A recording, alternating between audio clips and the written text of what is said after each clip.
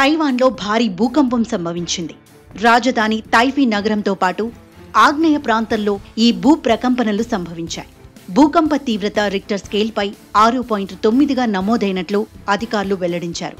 టైటుంగ్ పట్టణానికి ఉత్తరంగా యాభై కిలోమీటర్ల దూరంలో పది కిలోమీటర్ల లోతున భూకంప కేంద్రం ఉన్నట్టు యుఎస్జిఎస్ తెలిపింది. ఈ భూకంప తీవ్రతను దృష్టిలో ఉంచుకొని జపాన్ ఆధీనంలోని దీవులకు సునామీ హెచ్చరికలు జారీ చేశారు. భారీ స్థాయిలో ప్రకంపనలు రావడంతో ఇళ్ళ నుంచి షాపింగ్ మాల్స్ నుంచి ప్రజలు పరుగులు తీస్తున్న దృశ్యాలు సోషల్ మీడియాలో వైరల్గా మారాయి. అయితే ఇదే ప్రాంతంలో నిన్న ఆరు పాయింట్ ఆరు తీవ్రతతో భూకంపం సంభవించింది.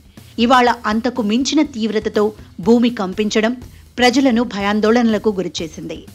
అయితే ఓ రైల్వే స్టేషన్లో నిలిచి ఉన్న రైళ్ళు భారీ ప్రకంపనలకు పట్టాలపై ఉండగా ఊగిపోయాయి.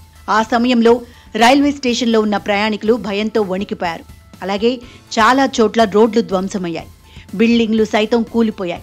భూకంపం కారణంగా భారీగానే ఆస్తి నష్టం జరిగినట్టు తెలుస్తోంది.